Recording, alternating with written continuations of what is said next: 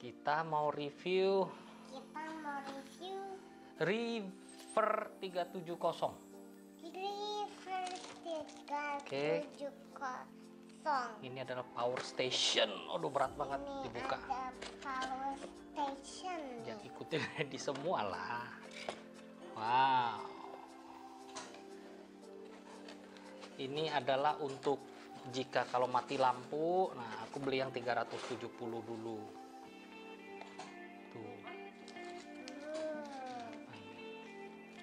Hmm. Berat, berat, berat. Ini apa? Coba lihat.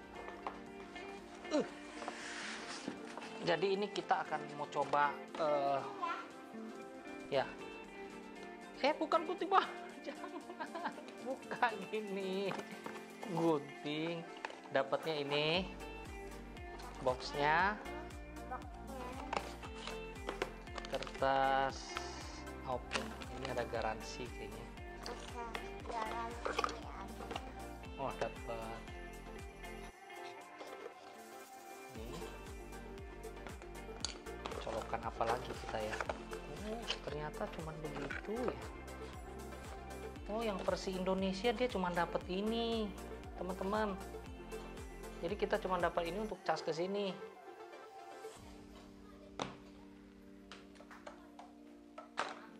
Jadi lucu juga ya itu. Iya Iya Hmm. teman-teman Ini gimana coloknya? Gini ya. Oh, gini colok untuk ke charger. Berarti ini untuk ke mobilnya mana? Nggak ada ya?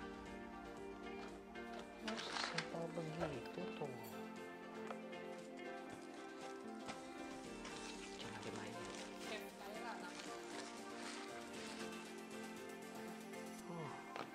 Jadi begini guys. Ah.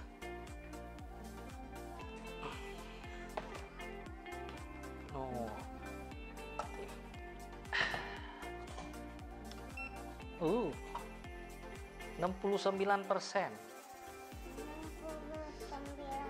69 persen. 69 Nanti kita akan coba charge. eh, ini kan yang saya beli kan review 370. Coba eh kita review untuk bisa nyalain refrigerator atau enggak.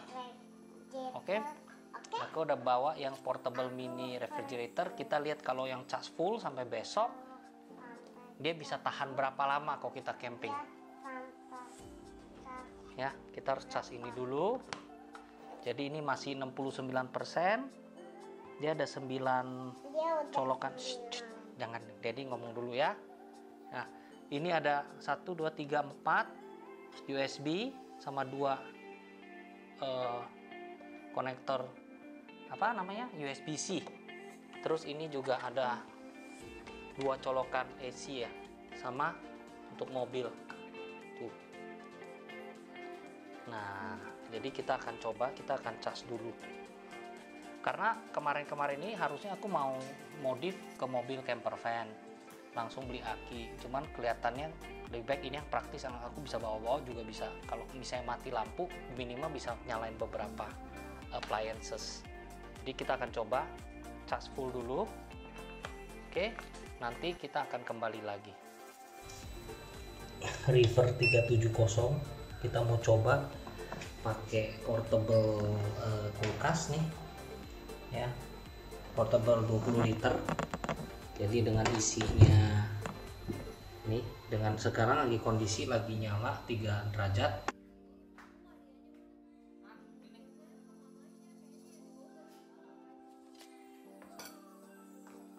Ini ini kondisi full. Ini juga kondisi full. Ya jadi kita akan coba ke eh, pakai colokan yang portable ini. Kita coba yang ke DC nya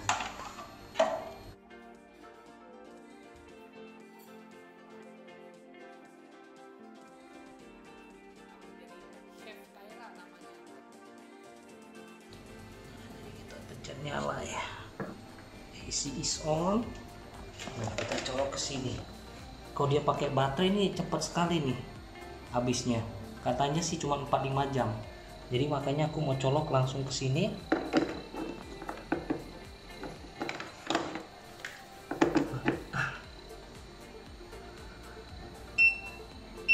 Nah ini nyala.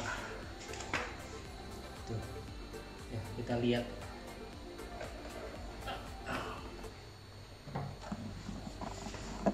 Nah apakah dia lagi tarik?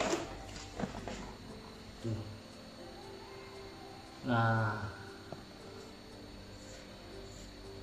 Ya ini dengan kondisi 3 derajat ya. Kita lihat. Nih. Sekarang jam 3.05 lah. Nanti kita lihat ini sisa berapa dan ini bisa berapa lama. Teman-teman ini udah 3 jam jam 6 ternyata baterai dia tetap turun ya kalau lewat pakai colokan yang sini. Jadi nanti kita akan coba pakai AC aja. Tapi kondisi baterai kecil banget. Hanya baru uh, kemakan 11% 3 jam. Ya. Nah tapi ini kita harus lihat lagi nih jam 9 nih. Dia mati atau enggak makanya kita harus kontrol lagi oke teman-teman nah akhirnya kita sudah tes semua uh, untuk kulkas mini fridge saya berarti artinya itu dia hanya kalau Eco River Flow uh, Eco River 370 itu hanya uh, bisa untuk satu malam. Kalau rencana teman-teman mau nyalain uh, refrigerator mini. Dan itu pun juga harus kombinasi kadang-kadang pakai AC. Aku pakai AC selama 2-3 jam. Habis itu aku colok lagi ke DC. Dan dia bisa bertahan total sampai jam 5. Minimal kalau aku percaya sampai jam 6 lah jadi jam 6 itu berarti artinya dari jam 3 siang sampai besok paginya jam 6 itu lumayan itu 15 jam teman-teman. Nah, kalau sampai DC terus ya beda cerita kali ya. Mungkin bisa lebih lama. Itu sampai jam 5.20 itu saya uh, eco rivernya masih sisa 6%. Nah, tapi kalau bisa cuman khusus refresh yang lain tidak bisa cas juga sama aja. Kecuali paling rivernya itu kita pakai sampai jam 10 11 malam untuk dingin untuk minuman apa gitu ya. Sisanya langsung pakai colok DC aja gitu. Itu bisa. Jadi daging-daging yang kita disimpan itu hanya untuk satu malam kecuali kita upgrade tuh beli lagi Eco yang 1000 watt nah itu kan lebih besar lagi atau beli Eco 2 biji satu khusus free satu lagi untuk yang kepentingan yang lain. Tapi untuk teman-teman yang mini camping gitu untuk cuma satu malam, menurut saya sih cukup. Ini sekarang saya lagi cas lagi, loh, dari 6% cas ke wall colokan wall AC gitu, itu paling harusnya sih dengar-dengar katanya cuma 3 atau sampai 5 jam kita lihat. Eco ini worth untuk dibeli menurut saya menurut pandangan pribadi. Kalau teman-teman bisa uh, ada pertanyaan atau ada info untuk saya, bisa komen di bawah. Dan jangan lupa subscribe di channel saya.